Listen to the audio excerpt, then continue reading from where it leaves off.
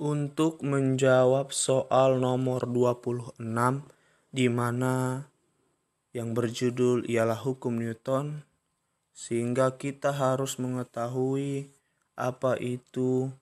ialah gerak melingkar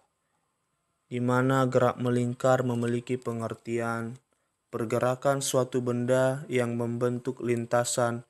berupa lingkaran dengan suatu sumbu atau titik tetap yang berada di tengahnya, di mana dapat diperhatikan pada gambar bahwa lintasannya ialah disebut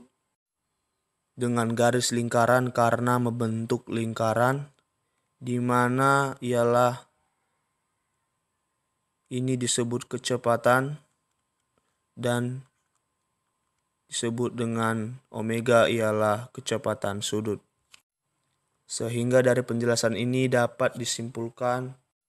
dalam gerak melingkar, lintasan yang berbentuk lingkaran disebut ialah garis lingkaran atau pilihan jawaban yang benar ialah A. Sekian dan terima kasih.